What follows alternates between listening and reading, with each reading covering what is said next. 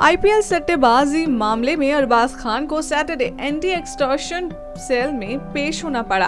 और आपकी जानकारी के लिए बता दें कि पूछताछ के दौरान उन्होंने पिछले पाँच साल से सट्टेबाजी में शामिल होने की बात भी कबूल कर ली है। ये भी बताया गया है कि वो पिछले कुछ सालों में सट्टेबाजी में करीब तीन करोड़ रुपए हार चुके हैं। और जब उन्होंने बुकी को पैसे देने से मना कर दिया तो ऐसे में अरबाज को धमकियाँ मिलने लगी और तो और।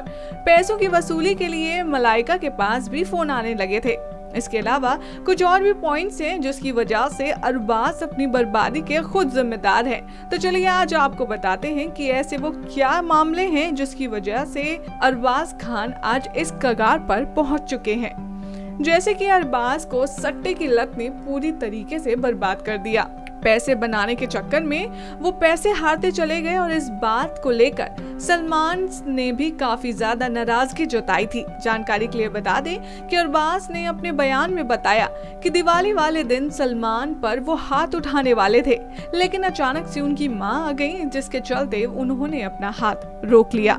इसके अलावा अरबाज ने ईयर 1996 में फ़िल्म दरार से अपने बॉलीवुड करियर की शुरुआत की थी। इसके बाद वो कुछ फ़िल्मों में सलमान खान के साथ तो नज़र आए, लेकिन वो इतने सक्सेसफुल बड़े पर्दे पर नहीं हो पाए। अरबाज ने इसके अलावा कई मल्टी स्टारर फ़िल्मों में भी काम किया, लेकिन उनका करियर कुछ खास जम नहीं पाया। फिर साल 2004 में आई हिट फ़िल्म हलचल के बाद उनका करियर ढलान पर आ गया। साथ ही आपकी जानकारी के लिए बता दें कि अरबाज ने अपने प्रोडक्शन हाउस को भी ठीक से न चलाने के लिए अपनी बर्बादी का जिम्मेदार ठहराया है। जानकारी के लिए बता दें कि प्रोडक्शन हाउस ठीक से न चलना भी अरबाज का एक बड़ा डाउनफॉल था। एक्टिंग में बात नहीं बनी तो अरबाज ने अपने प्रोडक्शन हाउस खोल लिया। साल 2010 में अरबाज ने अपने प्रोडक्शन हाउस की शुरुआत की।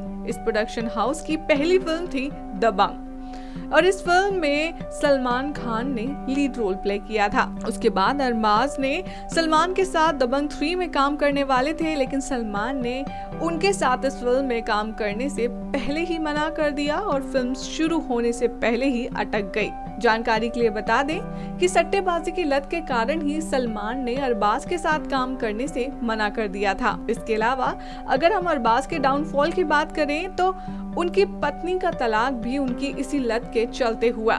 जी हाँ अरबाज ने सट्टा लगाने की बात करते हुए बताया कि पैसे ना चुकाने पर लोग मलाइका को फ़ोन करके परेशान करते थे, जिसके चलते उनके घर में रोज झगड़े शुरू हो गए। और यही वजह थी कि मलाइका ने अरबाज से तलाक भी लिया। शादी के 20 साल बाद, करीब साल 2017 में इन दोनों ने तलाक लिया और अलग हो गए, जिसके चलते मलाइका ने रिश्ता खत्म करने के साथ साथ 10 करोड़ रुपए की एलिमनी मनी भी मांगी, जो कि अरबाज को देनी पड़ी और ये अरबाज का एक और डाउनफॉल था। Next nine life newsroom की रिपोर्ट।